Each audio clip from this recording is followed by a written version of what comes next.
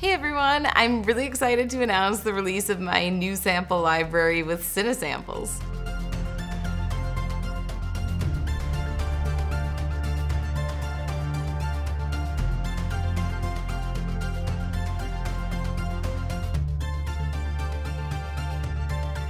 In this video, I just kind of wanted to walk you guys through a little overview of what sample libraries are and how I use them for those of you who are unfamiliar with them. And then I'm gonna get a little more technical about how and what we recorded for my library for those of you who are interested in some more of those technical details. So let's get into it. A lot of you have asked over the years how I make my tracks and have asked me how I'm able to get a full orchestra sound in my recordings. And it's all really due to sample libraries. And without getting too two technical sample libraries are basically recordings of live instruments that you can load up on your computer with specific software and make music with like this.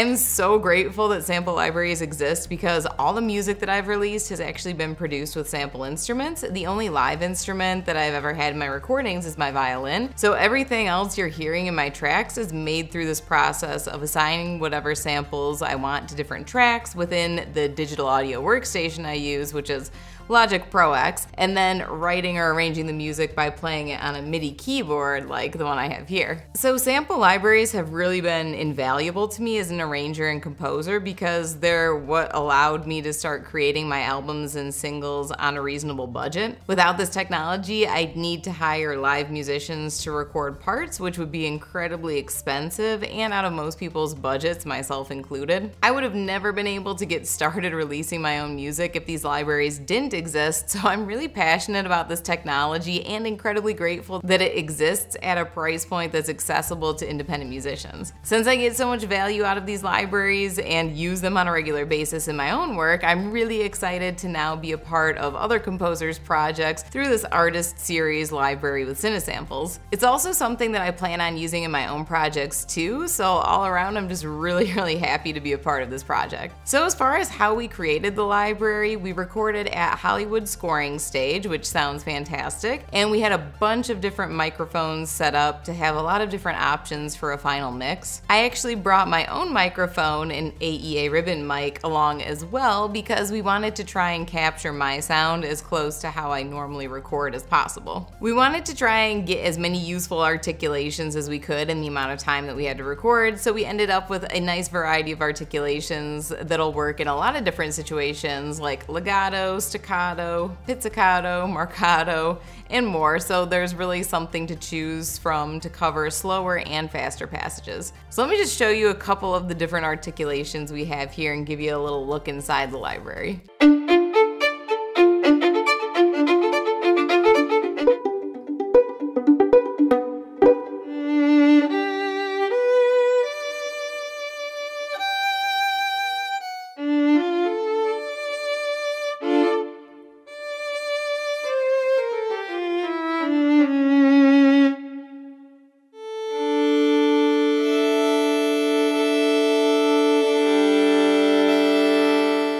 So after recording, the rest was up to the team at Cinesamples to take all those recordings and convert them into what you see here as the sample library, which honestly I don't know enough about that process to really speak about the details, but I know it's very time consuming and a lot of hard work to end up with a quality finished product. It's really hard to replicate stringed instruments in sample libraries, especially the violin. Of course, there's no real replacement for a professional live player for certain types of passages, but our goal with this library was to get as realistic of a sound as possible, and I'm so impressed with what the team at Cinesamples was able to do with the recordings, and we're all just really proud of how this library turned out. And I will say that while I don't just exclusively use Cinesamples libraries, I have tons of sample libraries from all sorts of different companies that I like using in my productions. But honestly, I'm not just saying this. Cinesamples has a lot of libraries that I really love and find myself using in most of my production work, so it really feels great to be a part of a library for a company that I really believe in and have so much personal experience with. And I also can't say enough good things about the people I worked with on this project from Cinesamples and the overall experience that I had. I've loved being a part of it and I'm so grateful that the team wanted to work with me on this. So if you guys are looking to get into music production at all or just curious to learn more about these kinds of sample libraries, I definitely encourage you guys to check out more from Cinesamples. They have some really helpful tutorials and walkthroughs on their YouTube channel, so if you're looking for any extra tips, it's a fantastic resource to check out. Thank you guys so much for watching. If you plan to get the library or if you have any questions about it, feel free to leave a comment below. I look forward to reading those and I'll see you guys soon again in the next video.